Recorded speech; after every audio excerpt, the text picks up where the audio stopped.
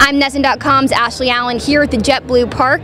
Now, David Ortiz has been a leader for the Red Sox for over a decade now, and with so many young players on the team this season, he'll definitely continue to be.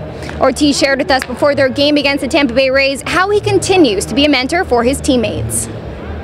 Our managers and front office, they're always trying to uh, improve, and know, our season wasn't that good last year, so trying to get uh, uh things better and uh, you definitely count on the new uh, player that just comes in and and in my case you know I just uh, try to get everybody to be on the same page and and uh, be positive and make them feel comfortable the most important thing. If you screwed up you screwed up and and just move on you know don't don't make any excuses. I mean you ain't perfect you know things happen in the game and and you're gonna have those ups and downs where you're gonna have to deal with. Everybody knows that here, and and but you always try your best. You know, the, the fans really appreciate that here, and and they never forget about that. And with that type of mindset, it's no wonder why Ortiz has risen to the top of his game.